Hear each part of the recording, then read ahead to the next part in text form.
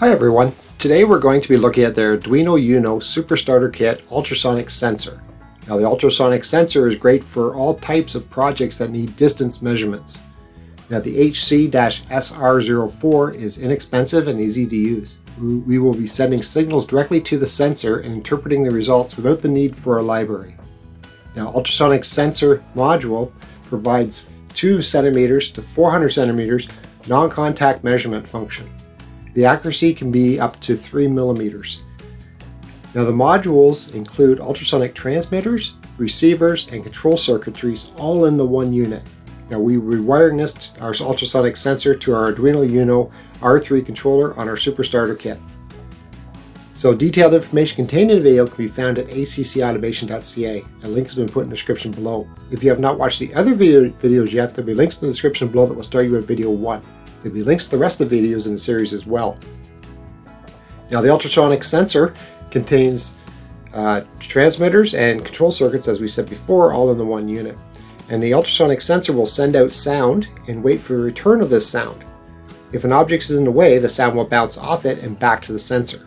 And the time of the return sound will determine the distance.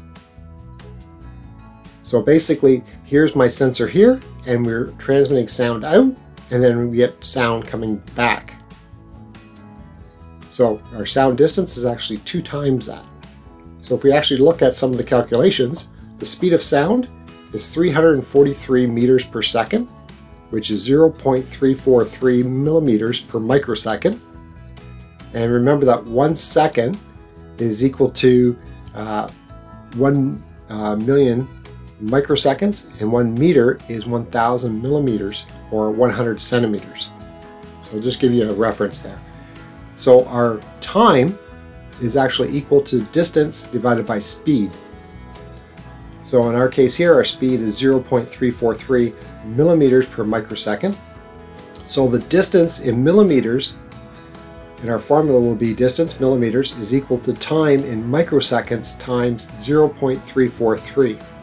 But since the sound is going to and from the object or twice, we actually take that distance of millimeters. It's actually equal to time in microseconds times 0.343 divided by 2. That will give us our actual distance itself. Now the timing chart is right here and will show us the general method of, of how the HC-SR04 module will work. So when we when the trigger pin is set high for 10 microseconds, that's here right here, this will send out eight sonic sound bursts, which are right here.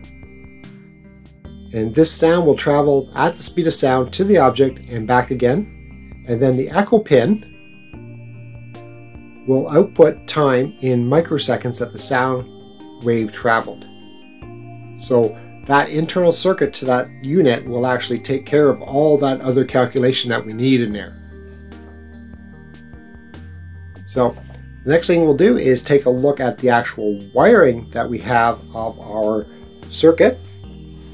So if we call up our actual hardware, which we have right here, you will see that we have our Elegoo um, unit located right here. And we have our ultrasonic sensor located right here.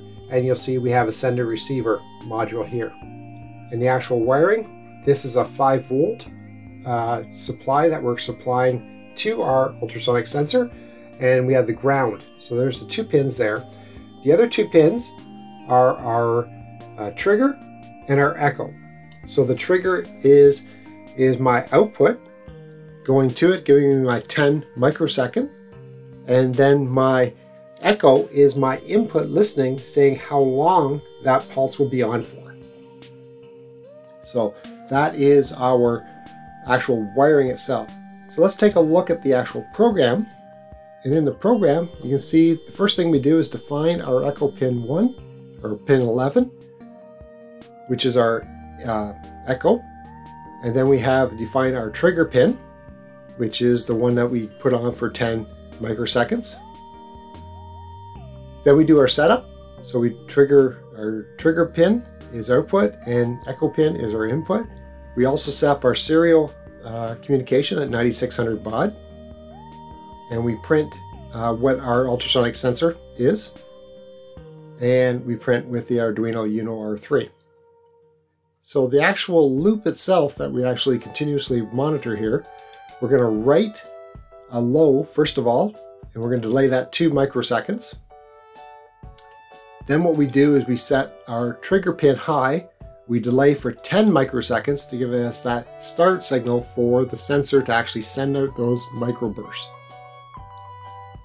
Then what we do is we, we then write the trigger pin low. Then what we do is we take a duration and we start looking at the pulse in and this will when the pulse in is high or the echo pin is high, how long that will be coming in for. That's our duration, and that will be in microseconds. Then what we can do is calculate the distance. And in distance in our case, again, it's going to be back to that same formula. So our distance is going to be the duration, which we just measured with the pulse in instruction, times 0.343 divided by 2. And that's going to give us the speed of sound divided by 2 because we have to go back and forth. And then we're going to display the distance on our serial monitor. So we're going to say distance, and then we're going to put in uh, the actual value of distance. Then we're going to say millimeters. And then we're going to delay one second, and then we're going to repeat this again, and again take another reading. So every second we're going to take these different readings. So what we'll do is upload this to the actual controller.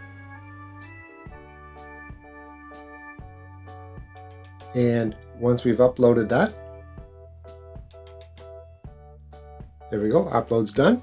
We will call up our serial monitor. And you can see here that we're now measuring. And we are looking at about 80, 80 point or 81, 80 millimeters for our object. And what we'll do is move that object down here. And now we're about 60, 68, 69 millimeters. And again, we can move it further. And as you can see now we're about 36, 37 millimeters. So very, very easy to implement this whole uh, ultrasonic within our Arduino Uno uh, Super Starter kit. So anywhere in between there, we can see how the distance now changes. And we're around the uh, 58, 59 millimeters right now. So if you enjoyed this video, please hit the like button below. If you have any questions about the video, please leave a comment below and I'll do my best to answer it.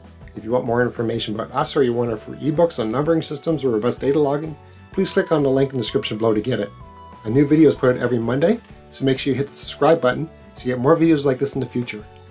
Remember to click the bell beside your subscription to actually receive those notifications. Thanks so much for watching. I'll see you next time. Stay safe.